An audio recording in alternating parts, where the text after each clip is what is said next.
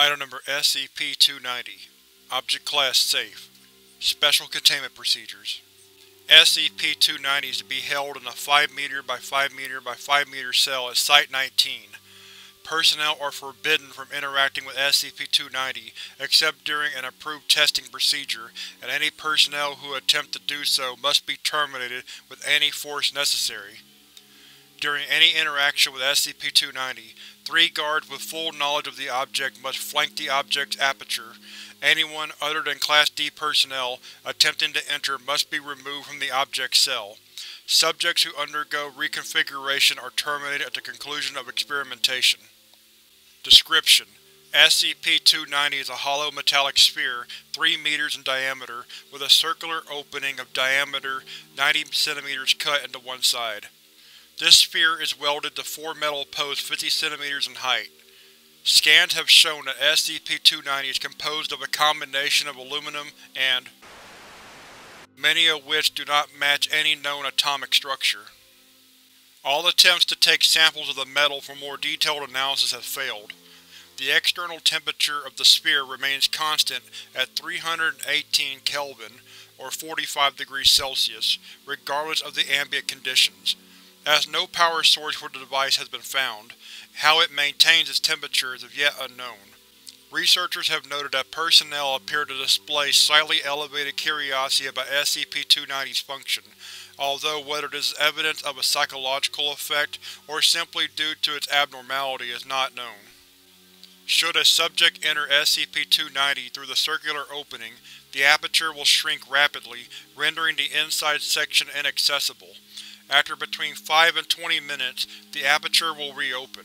No sound can be heard emanating from SCP-290 during this period.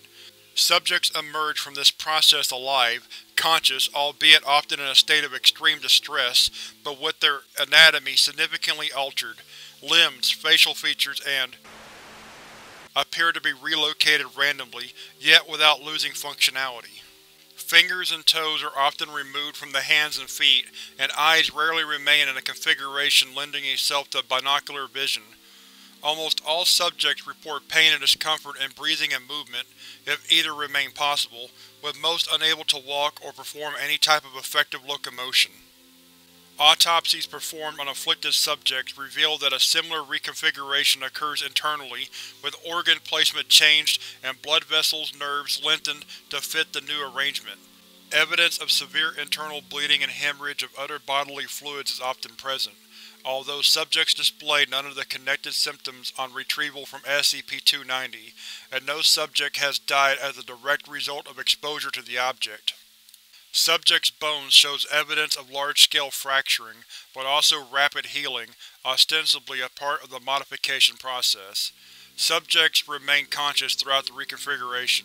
See Addendum 290-1 for details. Addendum 290-1 Experiment Log Subject D-59414 Male, 18 Supervisor, Dr.